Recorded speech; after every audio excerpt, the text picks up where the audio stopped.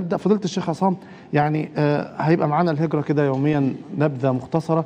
والنهاردة عايزين نتكلم عن الأعوام التي اعتمد عليها النبي صلى الله عليه وسلم والتخطيط الجيد لهذه الرحلة.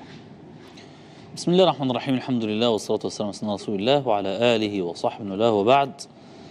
فأولا أهنئ الأمة الإسلامية والعربية والإنسانية جمعاء بهذا العام الهجري الجديد الذي أسأل الله سبحانه وتعالى أن يجعله عام آه، سلام وأمان في دين الناس ودنياها. اللهم آمين. وأن آمين. يجعل يعني آه، يومنا خيرا من آه، أمسنا وغدنا خيرا من يومنا. وأن يحسب عاقبتنا في الأمور كلها. اللهم آمين. آمين. الهجرة هي دروس مهمة وكبيرة في التخطيط. أرساها الرسول صلى الله عليه وسلم. والتخطيط كما يقول المرحوم الأستاذ فتحي يكن في كتابه أبجديات التصور الحركي أن التخطيط لا ينكره في الإسلام نعم. إلا واحد من اثنين. إما إنسان يجهل الدين جملة وتفصيلا أو يعادي الدين جملة وتفصيلا. من يزعم أن الدين ضد التخطيط وأن الدين آه مثلا يمشي بالعشوائية والحاجات دي. والهلهلة آه. هذا ليس من الدين في شيء. الدين فيه دقة وفيه تخطيط وفيه التزام بالموعد لأن أهم شيء في الخطط مع التخطيط والإعداد المواعيد والالتزام بها. نعم. والقرآن الكريم بين هذا الأمر بوضوح. فالحج ليس في أي يوم ولا في أي شهر. الحج أشهر معلومات. ومن فرض فيهن الحج فلا رفث ولا فسوق ولا جدال في الحج.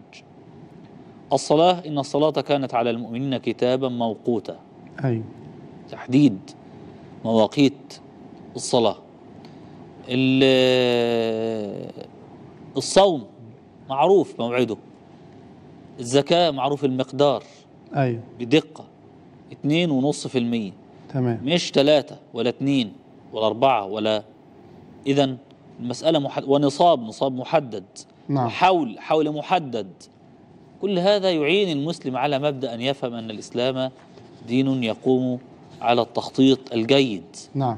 والنبي صلى الله عليه وسلم أكد هذا في مكة في تخطيطه بأنه كان يجلس بصحابته في بيت الأرقم بن أبي الأرقم. نعم. والأرقم أصغر الصحابة سنا ولا يتوقع كفار قريش أن يجلس عند أصغرهم. نعم. بل يجلس عند أكبرهم أو أكب- أكبرهم جاها. الأمر الآخر أن قبيلة الأرقم وقبيلة النبي صلى الله عليه وسلم كان بينهما خلاف ونزاع. نعم. فكذلك ده من باب التمويه ده تخطيط. في الهجرة أيضا اتضح هذا التخطيط. حينما رتب الراحلة والزاد وعد لكل شيء عدته. نعم. والصاحب قال أبو بكر الصحبة يا رسول الله؟ قال الصحبة يا أبو بكر. والدليل للكافر أيوه. ودرس لو أنه هاجر أي طريق سيسعى إليه كفار قريش؟ توقع أني طريق المعتاد. أيوه فغير الطريق بطريق وعر صعب. يعني وسيلة سهل. النقل أيضا. آه. وهناك من يأتي له بالأخبار عامر نعم. بن أبي فهيرة. آه، عامر بن فهيرة رضي الله عنه يأتي له بأخبار القوم. والسيدة أسماء بنت أبي بكر الصديق تهذب لهما بالطعام وما يحتاجان آه، المصطفى صلى الله عليه وسلم وأبو بكر الصديق. رضي الله عنه. نعم. كل هذه عوامل تخطيط. أيوه إلى أين يهاجر؟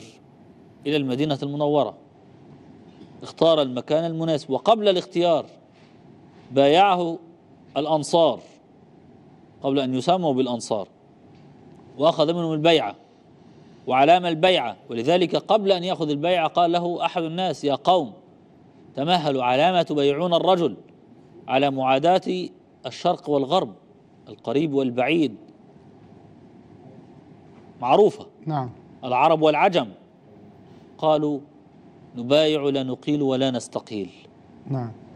الشاهد إن اختار الجنود الصالحة وضع الخطة الصحيحة اختار الطريق المناسب الأدوات. اللازمة آه. إلى كل شيء يعينه على هجرته دون آه، المتاعب طبعا موجودة لكن آه، لي- لينجح في كل ما خطط له في هذه فهذا درس عظيم جدا في التخطيط وحسن الإعداد. طيب آه، النبي صلى الله عليه وسلم